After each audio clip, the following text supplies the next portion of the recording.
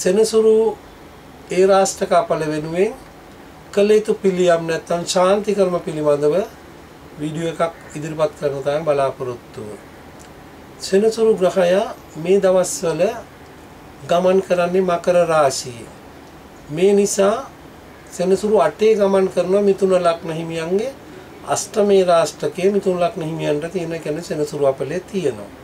කුම්භ ලග්නෙට පටන් ගත්තා. මේ ජනවාරි 24 කුම්භ ලග්නේ 12 වෙනිට ආවේ. මකර ලග්න හිමියන්ගේ ලග්නෙට ආවේ. එතකොට ධනු ලග්න හිමියන්ගේ ධනස්ථානයට ආවේ දෙවැන්නට. මෙන්න මේ ලග්න හතරට විතරක් අපිට කියන්න පුළුවන් සෙනසුරුගේ අපල තියෙනවා කියලා. අනිත් ඒ රාෂ්ටක තුනයි චන්ද්‍රෂ්ටමේ රාෂ්ටකයයි. ඒ කියන්නේ තේ රාෂ්ටක තුන කියන්නේ යම්මේ රාෂ්ටක තුනයි චන්ද්‍රෂ්ටමේ රාෂ්ටක.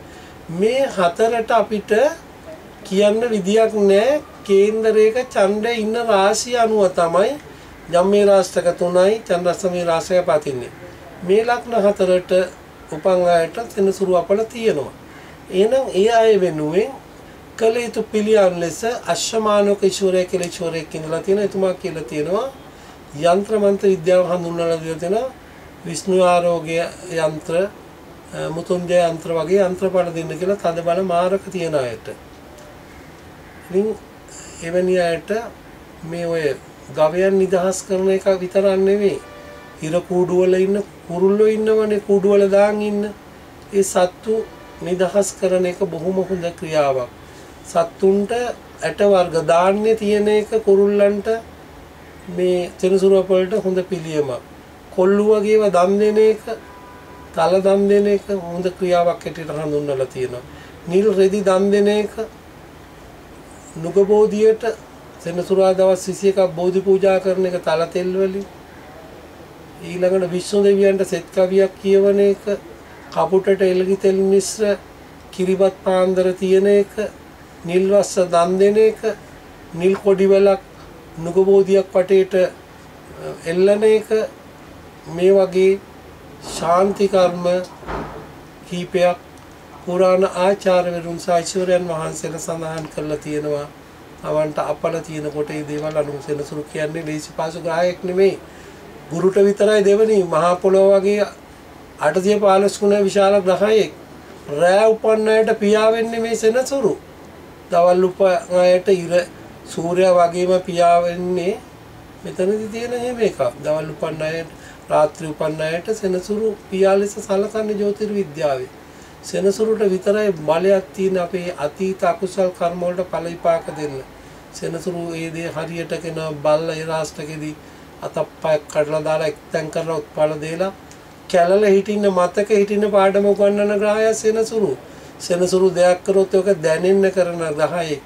උප්පත්තියේ සෙනසුරු බලවත් අයට කුම්භ ලග්න මකර ලග්න තුලා ලග්න අයට සහ බලවත් අයට විශේෂයෙන් මුෂම ලග්න අයට සෙනසුරු පුදුම විදියේදී සුබඵල දෙන ග්‍රහයෙක් වැරහැලියෙන් ගත්ත මහල්ලෙක් සෙනසුරු කිසිම අනුකම්පාවක් එතමනයක් නැති ග්‍රහයෙක්.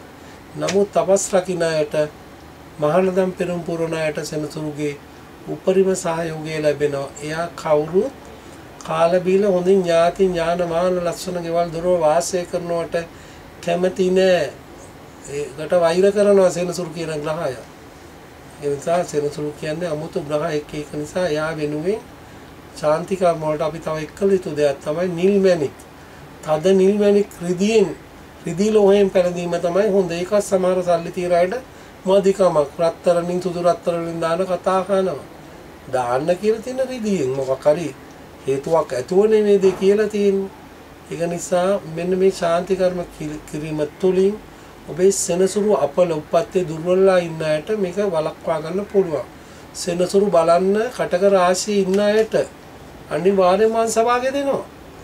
සෙනසුරු මහදසාව ලැබෙන නම් අවුරුදු 60ක් පැනපු කෙනෙකුට සෙනසුරු මහදසාව අවුරුදු 19ක් සෙනසුරු වල 19ක් දීලා තියෙන කාලේ බලන්නේ මොකක් හරි මේ වගේ විභාගයක් ඇතුව හේතු සාධක ඇතුවනේ යාට 19ක් වෙන් කරලා තියෙන්නේ.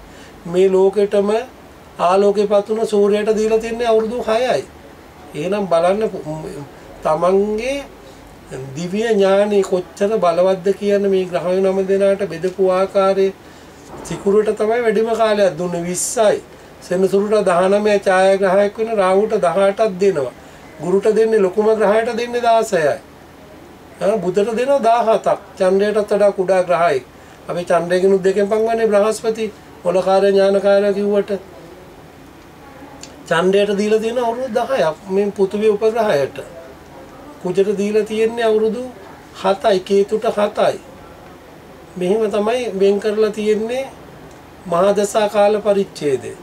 ඒ නිසා මේ ශාන්ති කර්ම කරන්න ඕන උපත්යේ දුර්වල අයට සතුරු වෙච්ච අයට නීච වෙච්ච අයට සෙනසුරුගේ මේ බලය ගන්න නම් සෙනසුරු නීච වීමත් මහා ධනෙ දෙන පිහිටීමක්.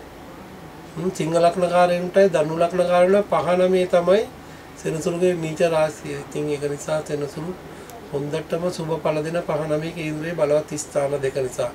ඊගෙන පවසමින් මම ශාන්ති කර්ම පිළිබඳ විග්‍රහය අවසන් කරනවා. තෙරුවන් සරණයි.